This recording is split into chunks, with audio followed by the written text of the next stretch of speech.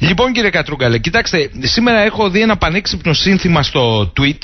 Η δεξιά μαζεύει φόρους, η αριστερά ψάχνει ψήφους, η χώρα είναι σε ακινησία, όλοι περιμένουν απλά κάτι να γίνει και η χώρα πάει έτσι. Είναι πολύ σωστό το tweet. Ξέρετε όμως, ε, επαληθεύει αυτό που λέω πάντα, ότι όσο περιμένουμε μεσίες και σωτήρες και δεν κινούμαστε εμείς όσο μπορούμε συλλογικά καθόμαστε στον καναπέ, κλαίμε τη μοίρα μας και μαζεύουμε δραχμούλα, δραχμούλα, ευρώ το ευρώ την επόμενη δόση του φόρου, δεν γίνεται τίποτα. Λίγο πιο κοντά στο, στο τηλέφωνο σας, αν θέλετε. Ναι, ναι, ναι, ναι, ναι, ναι. Λέω λοιπόν ότι δεν πρέπει να περιμένουμε από κάποιον να μας σώσει. Είχε πει ένας ε, μεγάλος λογοτέχνης μας, ο Ασημάκης ο Πατσέλινο, ότι η σωτηρία είναι επικερδής επιχείρηση μόνο για το σωτήρα. Εμείς οι ίδιοι πρέπει να κανονίσουμε, να δούμε τι μπορούμε να κάνουμε, πώς να σωθούμε, να επιβάλλουμε την πολιτική που θέλουμε και τους πολιτικούς που θέλουμε και να μην περιμένουν να μα σώσουν απ' έξω. Επειδή είστε από τους ανθρώπους που επιμένετε ότι το Σύνταγμα χρήζει αλλαγής και μάλιστα εκ βάθρων από τα κάτω, θέλω να σας ρωτήσω με αυτό το απλό ξεκινώντας. Ο Γενικός Γραμματέας Εσόδων είπε: Δεν βγαίνουν τα φορολογικά έσοδα, ξεκινάω τα ιδεοποιητήρια, τα οποία φτάνουν μέχρι και τη διαδικασία κατασχέσεων περιουσιακών στοιχείων των φορολογουμένων είναι το συντάγματος; Ακούστε να δείτε τώρα. Ε, πρώτα πρώτα το φορολογικό νομοσχέδιο καθε αυτό είναι αντισυνταγματικό σε πολλά επίπεδα. Κυρίως στο βασικό. Τι θέλει το Σύνταγμά μας; Ο καθένας να δίνει ανάλογα με τις δυνάμεις του. Αυτό που λέμε εμείς οι νομικοί, ισότητα στα δημόσια βάρη. Αυτό σημαίνει ότι οι πλουσιότεροι πρέπει να επιβαρύνονται περισσότερο, οι φτωχότεροι λιγότερο και αυτοί που δεν έχουν καθόλου, οι άνεργοι, αυτοί που είναι κάτω από το επίπεδο της φτώχειας, καθόλου. Το φορολογικό νομοσχέδιο αυτό το επιβαρύνει πολλαπλά δεν είναι μόνο ότι ζητάει χρήματα από αυτούς που δεν έχουν. Ζητάει χρήματα από αυτούς που είναι κάτω από το όριο της φτώχειας. Έχει τεκμήρια που επιβαρύνει τους ανέργους. Ζητάει λιγότερα για αυτούς που έχουν. Ένα από τα πιο σκανδαλώδη ε, μέτρα που πήρε είναι η μείωση της φορολογίας των μερισμάτων. Όποιος δηλαδή ζει από μετοχές, ουσιαστικά μπορεί να μην έχει καμία συμμετοχή στην οικονομική δραστηριότητα. Αυτή τη στιγμή είναι καλύτερα από τους άλλους. Όποιο ζει από ενίκεια έχει μικρότερη φορολογία σε σχέση με το παρελθόν.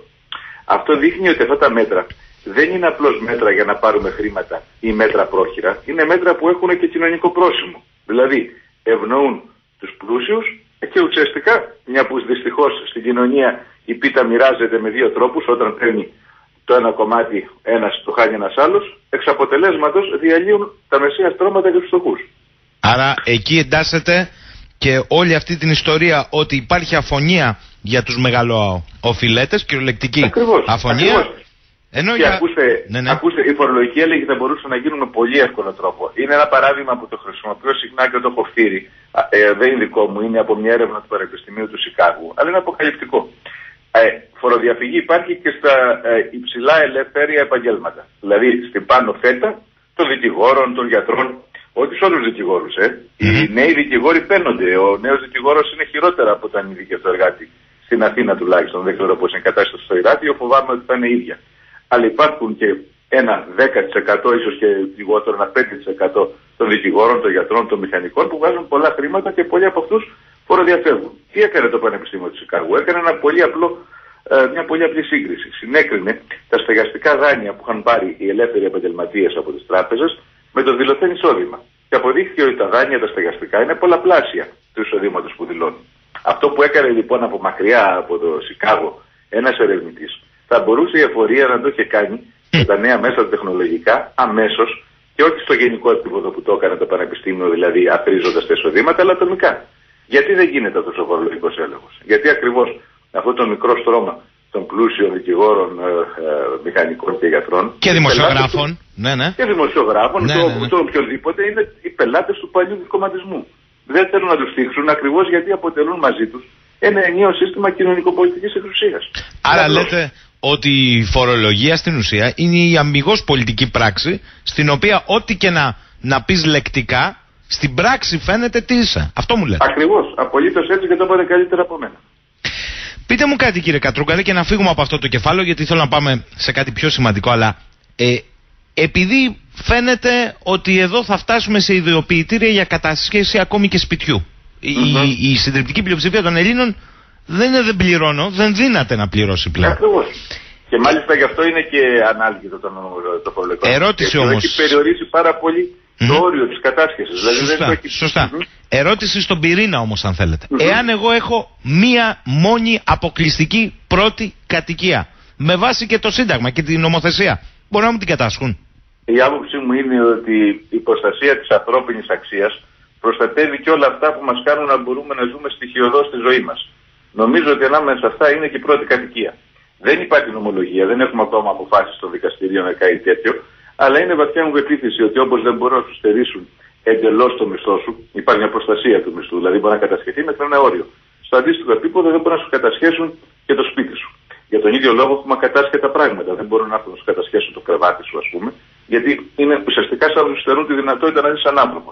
Και κανένας άνθρωπος δεν μπορεί να το κάνει αυτό σε έναν άλλον άνθρωπο. Μάλιστα. Χαίρομαι για την προσέγγιση γιατί νομίζω θα τη βρούμε μπροστά μας πολύ σύντομα.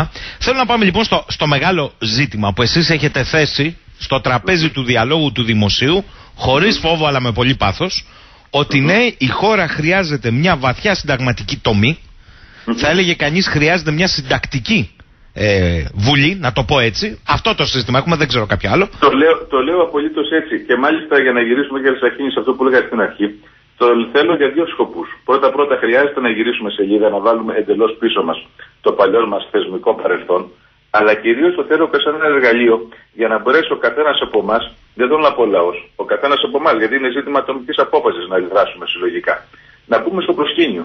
Και γι' αυτό χρησιμοποιώ το παράδειγμα μιας μικρής χώρας της Ισλανδίας, που ναι. το Σύνταγμα φτιάχτηκε μεν από μια συντακτική βουλή, αλλά με την καθημερινή παρουσία μιας μεγάλης μεγάλης μάζας πολιτών. Μισό λεπτό δηλαδή, κύριε Κατρούγκαλα, κύριε καθηγητά, μισό λεπτό. Ναι, ναι. Επειδή το λέτε ότι εγώ θέλω να έρθει ένα νέο σύνταγμα από τα κάτω, όχι από. Ακριβώς. Ναι. Ακριβώς. Πώς θα σας πει ο άλλος, λέτε το πράγμα. Για εξηγήστε το λίγο, πώς θα γίνει αυτό, θα βρεθούμε 10 εκατομμύρια, δεν ξέρω που χωράμε. Όχι, όχι, όχι. όχι. Ακριβώς γι' αυτό λέω το παράδειγμα της μικρής χώρας. Θα σας πω τι κάνανε, όχι για να το αντιγράψουμε, αλλά γιατί έχουμε ήδη ένα ιστορικό προηγούμενο. Από όπου φαίνεται ότι αυτά που λέω εγώ δεν είναι όπως παλιά ουτοπίες κάποιων θεωρητικών, αλλά ένα πράγμα που έγινε σε μια άκρη του κόσμου. Δεν λέω να το αντιγράψουμε, αλλά μπορούμε να εμπνευστούμε. Αυτοί λοιπόν πώς ξεκίνησαν; Πρώτα-πρώτα είχαν το προηγούμενο ότι η κοινωνία είχε αυτοπεποίθηση, γιατί μετά από δύο δημοψηφίσματα είχε απορρίψει τις απαιτήσεις των δανειστών της, του Διεθνούς Νομισματικού Ταμείου δηλαδή, που ζητούσε να αποπληρωθούν 9 δισεκατομμύρια χρέη, που για την ε, μικρή οικονομία της Ισλανδίας 300.000 κάτοικοι είναι. Είναι ποσό ανάλογο με το δικό μας. Ενώ λοιπόν εκεί τα κόμματα του δικού τους παλαιοκομματισμού είχαν συμφωνήσει να πληρωθούν αυτά τα δάνεια, ο πρόεδρος Δημοκρατίας έθεσε δύο φορές σε δημοψήφισμα τα δύο αλλεπάλληλα σχέδια και τα δύο αυτά σχέδια απορρίφθηκαν. Και έτσι η κοινωνία απέκτησε αυτοπεποίθηση με τις δικές τη προσπάθειε ορθοπόδησε η Ισλανδία, τώρα έχει ρυθμό ανάπτυξης 3,5%. Άφησε να κλείσουν οι τράπεζες που τραβούσαν τη χώρα προς τα κάτω, να ανοίξουν νέες τράπεζες, να δώσουν ζωή στην οικονομία, να μην περιφέρονται οι τράπεζες ως ζόμπι. Και εν πάση περιπτώσει ήταν σε ένα επίπεδο όπως αυτό που θα ήθελα να φτάσουμε εμείς. Τότε λοιπόν τι αποφάσισαν αυτοί οι άνθρωποι. Για να ξεκινήσει το Σύνταγμα, διάλεξαν με κλήρο χίλιους ανθρώπους. Με κλήρο χίλιους ανθρώπους. Με κλήρο χίλιους ανθρώπους. Τυχαίο. Τυχαίο, εντελώς. Αρχαία, αρχαία Αθήνα θυμάμαι. Αρχαία Αθήνα. Μάλιστα. Αυτοί οι άνθρωποι λοιπόν μαζεύτηκαν τρει μέρες και συζητούσαν. Προφανώς οι άνθρωποι συνταγματολόγοι δεν ήταν. Πολλά από τα πράγματα που είπαν ήταν αρλούμπες. Όμως η άμεση δημοκρατία έχει αυτό το κίνδυνο. Δεν μιλάει οι ειδικοί. Μιλάει ο μέσο άνθρωπος. Αν θέλουμε μόνο να μιλάνε οι ειδικοί, μπορούμε να φτάσουμε σε, ένα, σε μια αντίληψη του πολιτεύματος των ελίτ, που δεν είναι αυτό που έχω εγώ. Στο τέλος λοιπόν καταγράφηκαν αυτά που είπαν αυτοί οι άνθρωποι που διαλέχθηκαν με τον τρόπο αυτό. Η, τότε το Κοινοβούλιο έβαλε μια επιτροπή από ειδικούς, μια ομάδα από ειδικούς, συνταγματολόγους, να τυποποιήσει, να κατατάξει αυτό το χήμα πράγμα στο οποίο είχε καταλήξει η πρώτη λαϊκή συνέλευση. Mm-hmm. Είχαμε λοιπόν ένα υλικό. Τι θέλει περίπου αυτή τη στιγμή ο μέσος άνθρωπος της Ισλανδίας. Μετά ακολούθησε το βήμα της αντιπροσωπευτικής δημοκρατίας. Γιατί μοιραία στα μεγάλα κράτη, ακόμα και αν είναι του μεγέθους της Ισλανδίας, η άμεση δημοκρατία πρέπει να παντρεύεται με την αντιπροσωπευτική. Και εξέλεξαν λοιπόν 25 με γενικές εκλογές ανθρώπους να αποτελέσουν τη νέα συντακτική συνέλευση της Ισλανδίας. Ε, και από εκεί μετά όμως ξεκινάει το πιο ενδιαφέρον. Αυτοί οι άνθρωποι λοιπόν κάθε μέρα ό,τι έκαναν κάθε παράγραφο του νέου συντάγματος στην οποία κατέληγαν, την ανέβαζαν στο Facebook και στα άλλα κοινωνικά μέσα δικτύωσης. Και περίμεναν την επόμενη μέρα να δουν το feedback. Τι γράφανε, τι tweets υπήρχαν. Ναι. Και ανάλο... Βέβαια. Και, ανάλο... και την επόμενη μέρα επομένως η δουλειά τους ήταν να δουν από αυτό πάλι το χήμα πράγμα που ερχόταν. Γιατί αντιλαμβάνεστε ότι ήταν μέσα σωστά, στη σωστά. Ναι. Τι μπορεί, τι είναι, είναι Μισό λεπτό, μισό λεπτό. Ναι. Για το... Γιατί σας ακούνε εδώ, έχω πολλά μηνύματα που, που περιγράφεται αυτό το μοντέλο Όχι όπως είπατε σωστά για μιμητισμό, αλλά για έμπνευση. Προφανώς όταν λέμε χήμα, εννοούμε ναι. όμως το μέσο κοινό νου του Ισλαμικού πολίτη. Ακριβώς και, και δεν το υποτιμώ καθόλου. Το λέω χήμα ναι, ακριβώς ναι. Ε, δίνοντας ε, και υποχωρώντας λίγο στην κριτική, κάτω λίγο τον δικηγόρο του διαβόλου της άλλης άποψης. Για να πω ότι ακόμα και όταν έχουμε κάτι χήμα, αυτό το χήμα είναι χρήσιμο. Mm-hmm. Δεν το λέω με κάτι άποψη. Σωστά, σωστά. Για οποιονδήποτε. Λοιπόν, αυτοί στέλνανε πίσω λοιπόν με μηνύματα ηλεκτρονικά. Ακριβώς. Ναι. Και αυτή την επόμενη μέρα αυτό που έκαναν πριν προχωρήσουν στη νέα δουλειά είναι να δουν από αυτή την πληροφόρηση που έπαιρναν από τον κόσμο. Θεωρούσαν ότι υπήρχε κάτι χρήσιμο που θα έπρεπε να το σωματώσουν. Το σωμάτωναν και το ξανανέβαζαν και προχωρούσαν στο επόμενο. Και με αυτόν τον τρόπο λοιπόν υπήρχε μια συνεχής επικοινωνία ανάμεσα στη συντακτική συνέλευση και στον κόσμο. Και για αυτόν τον λόγο πολλοί θεωρητικοί ονομάζουν το Σύνταγμα της Ισλανδία Σύνταγμα ανοιχτού κώδικα. Όπως είναι το Linux, για παράδειγμα, mm-hmm. στα προγράμματα των υπολογιστών, που ξεκινάει από ένα ε, πληροφορικό που το γράφει, αλλά μετά εμπλουτίζεται συνεχώς χωρίς αμοιβή από τον πληροφορικό θέλει να το, να το εμπλουτίσει. Και στο τέλος λοιπόν, ε, ε, όταν τέλειωσε αυτή η διαδικασία, κατέληξα κάτι που κατά τη γνώμη μου είναι αδύνατο να συμβεί ξανά, σε ομόφωνο σχέδιο ψηφίσματος. Ομόφωνο; Το έθεσα, ομόφωνο. Το έθεσα σε δημοψήφισμα και μάλιστα όχι σε δημοψήφισμα ναι ή όχι στο σύνολο. Γιατί και αυτό ενδεχομένως θα ήταν εκβιαστικό. Διάλεξαν τα πέντε ζητήματα που από τη συζήτηση στα κοινωνικά μέσα δικτύωσης φαινόταν τα πιο εριζόμενα. Α πούμε, αν θα έχει η Ισλανδία επίσημη θρησκεία. Ε, Επίσης, ε, το λέω τα δύο πράγματα που φέρνουν πιο κοντά και σε αυτό που ενδεχομένως συζητούσαμε εμείς. Αν θα πρέπει να είναι οι ιδιωτικοί, να ιδιωτικοποιούνται οι δημόσιοι πόροι της χώρας. Και το χαρακτηριστικό είναι ότι οι δημόσιοι πόροι της φτωχής Ισλανδίας είναι τα ψάρια. Τα ψάρια. Δυνατότητα υγείας. Ε, λοιπόν, στο δημοψήφισμα μπήκαν. Θέλετε, ως, θέλετε το Σύνταγμα αυτό όπως το βλέπετε στο σύνολό του; Ναι, όχι. Αν απορριπτόταν αυτή η πρώτη ερώτηση δεν θα είχαν νόημα, οι πέντε επόμενες, αλλά στο ίδιο δημοψήφισμα υπήρχαν και πέντε επιμέρους ερωτήματα. Στα πιο κρίσιμα ζητήματα. Mm. Θέλετε να υπάρχει κρατική θρησκεία, θέλετε να υπάρχει ιδιωτικοποίηση στα δημόσιους πόρους της χώρας. Και ούτω καθεξής. Και στο τέλος το δημοψήφισμα αυτό κατέληξε θετικά και επί της αρχής και στα πέντε ερωτήματα και η Ισλανδία έχει ένα ε, σύνταγμα τώρα που ο μέσος άνθρωπος μπορεί να λέει και εγώ βοήθησα να φτιαχτεί. Άρα Αυτό λέτε να, να ένας τρόπος από τα κάτω συγκρότηση ενός νέου συντάγματος. Φαντάζομαι βέβαια στην Ελλάδα θα είναι λίγο ε, διαφορετική κουβέντα με την έννοια ότι είμαστε 300.000, είμαστε 10 εκατομμύρια και είμαστε και Έλληνες, έτσι. Κάθε Έλληνας και μια διαφορετική άποψη. Μην το Εννοείται, αλλά σκεφτείτε, σκεφτείτε ότι τα μέσα κοινωνικής δικτύωσης βοηθούν ώστε το μέγεθος να έχει πια μικρότερη σημασία από ό,τι στο παρελθόν. Ο Αριστοτέλης έλεγε ότι ιδανικό μέγεθος της πόλης είναι αυτό που μπορεί να ακουστεί ο ομιλητή μέχρι την άκρη της πλατείας στην οποία μιλάει. Ε, σήμερα το, το ίντερνετ έχει κάνει το μέγεθος αυτής της πλατείας ίση με τη γη.